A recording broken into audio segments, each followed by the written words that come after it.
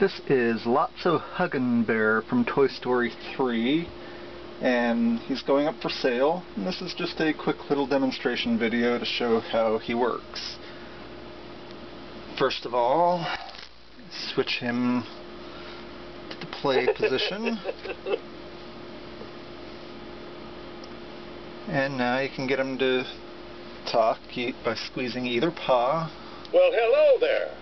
I'm Lotso Huggin Bear, but please call me Lotso. Well, hello there. I'm Lotso Huggin Bear.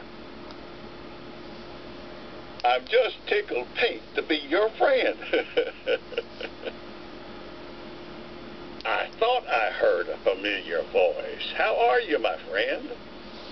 Or you can squeeze him, give him a hug, and he seems to respond different differently that way. Thanks for being my friend. Oh, that's nice. I always love a hug. You give some of the sweetest hugs around. You know that? What would you like to do today? Well, hearts and flowers. I sure could use a hug. Do you like my strawberry scent? Makes me think of summer every day. oh, I love you too. Anyway, that's just a small sampling of what he says. That, that is good enough for now.